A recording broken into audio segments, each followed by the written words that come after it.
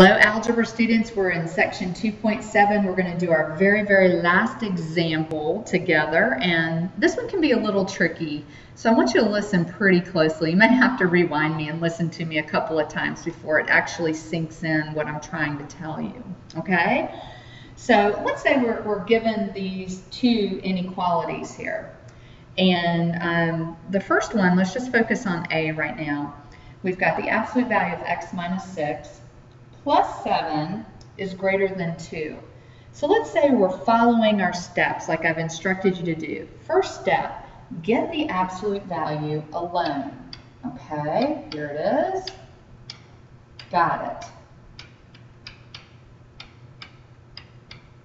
Okay, now this is where I'm going to try to get you to do some critical thinking here because think about it when I plug in any number for x and I subtract 6 and I take the absolute value of that number other than the again taking the absolute value of 0 but any other positive or negative integer if I take the absolute value of any positive or negative integer my answer will always be positive. Okay and my positive number is always going to be greater than this negative 5. Always. It will always be greater. Um, if I take the absolute value of 0, and that's 0, 0 is greater than negative 5. So you can look at this ahead of time and go, hey, I've got an absolute value that's greater than negative 5. If I take the absolute value of any number and I get a positive number, a positive number is always greater than negative 5. So if you recognize that situation right now, and I know some of you in the class do, you your answer to this question, you can stop this question right now and write for your answer all real numbers, okay?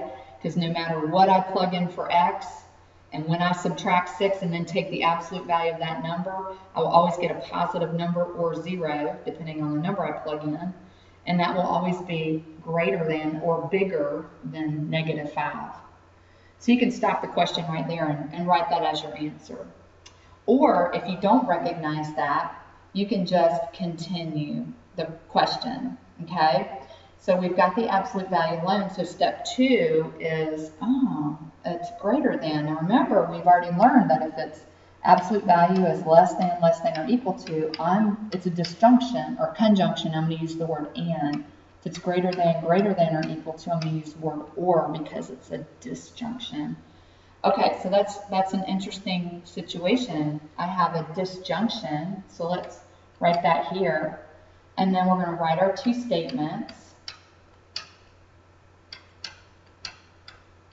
And then remember, when I write it again, I'm going to flip the symbol and change the sign. Okay? I'm going to flip the symbol, change the sign. Now I'm going to solve for x. So that means I got to add 6. So I got x is greater than 1, or, I'm going to add 6 again, x is less than 11. Now remember, this is a disjunction, okay?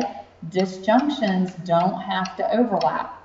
They can, but they don't have to. Unlike conjunctions, they absolutely have to. So when you graph this, you're going to notice something really interesting.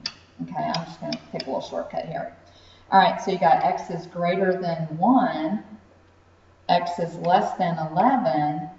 Oh my goodness, I have a disjunction that overlapped hey, that's okay. What that tells you, anytime that happens, disjunctions that overlap, that happens occasionally, means the answer is all real numbers.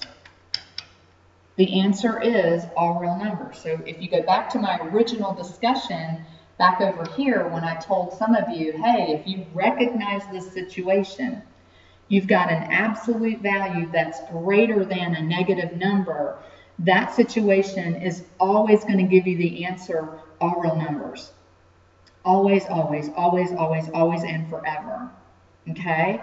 So you can either catch it there or you can go through all the work that you did here. You can do all the work and then make that discovery. Oh, I have a disjunction that overlapped. They don't typically overlap. So what does it mean when a disjunction overlaps? It just means the answer is all real numbers.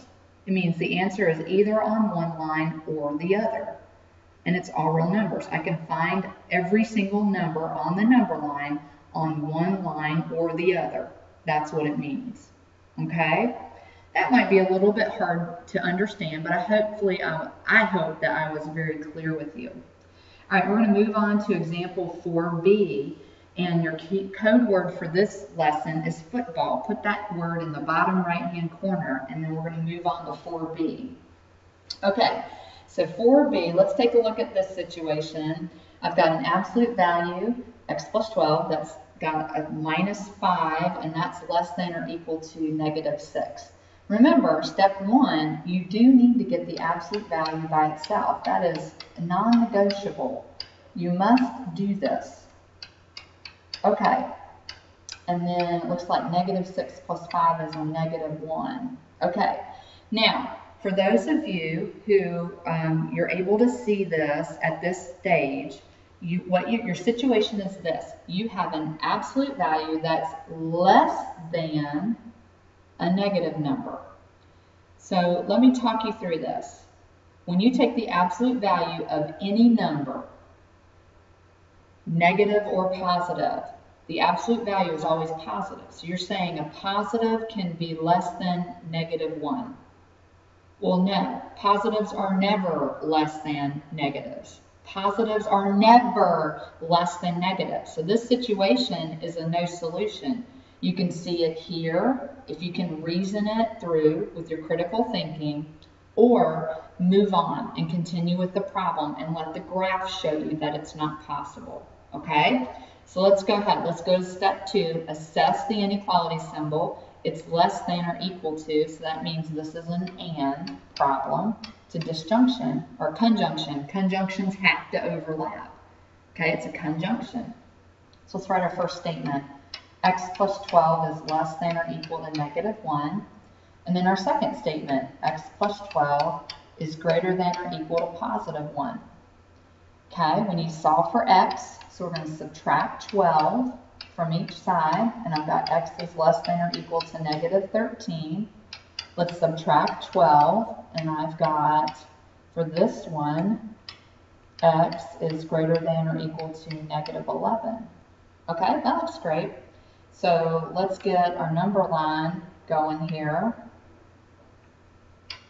And let's do negative 10, negative 11, negative 12, negative 13. Remember, this has to overlap. It's an and. It's got to overlap.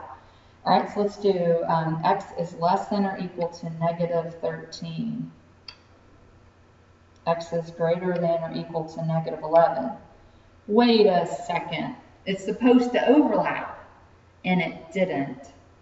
What does this tell you? Okay, conjunctions remember, must overlap. When they don't, the answer is no solution. Okay? The answer is no solution. So I would just write for this I would put that null set there, right in the middle or underneath it. I didn't have room underneath it to write it, not much at least. But you can write that. Make sure that it's really clear. Either write the words no solution or null set really clear. So you could have caught it here at this level and said, hey, it's not possible. If I take the absolute value of the number, it's positive, and positives are never less than negatives. That's a no solution. Or you can keep working and see that, oh, it didn't overlap. The graph didn't overlap like it should have. Now you got to be on your toes for this because if you're, you're if you're just on autopilot and you're solving the problem, um, you may not recognize what you've got here. Remember, conjunctions have to overlap. When they don't, The answer is no solution. That's the key to this, okay? This is extra tricky. These are very, very special situations. So um, when you come to class tomorrow, I will give you, let me see here. I'll go ahead and give you one right now. I want you to try one right now. So just flip your paper over or get a, a sheet of notebook paper. And let's try this one, okay? 4 times the absolute value of x minus 3 and a half is less than or equal to negative 8. Okay, that's one. And then let's try another one. Let's do absolute value of x minus 9 is greater than or equal to negative 11. Now, those are two. Now, I will tell you this. You, the answers are either no solution or all real numbers. So you need to recognize if you're not sure what happened in, you know, that you can tell, then go ahead and work the problem all the way out and let the graph drive your answer. Okay? If you can tell, you, you can't tell from this step until you get the absolute value alone. That's always your first step. You make no judgments until the absolute value is alone. Then you can assess it. Okay? Then you can look at it and use your common sense and your critical thinking to make that assessment. Okay? So at the very least, I need to see where you made the move to get the absolute value alone first. Then you can write your answer after I see that step. Okay? That's it for now, and I'm happy that you have some extra credit. So go ahead and put EC plus one, EC plus one for each one, and then go for it. All right, thanks for watching.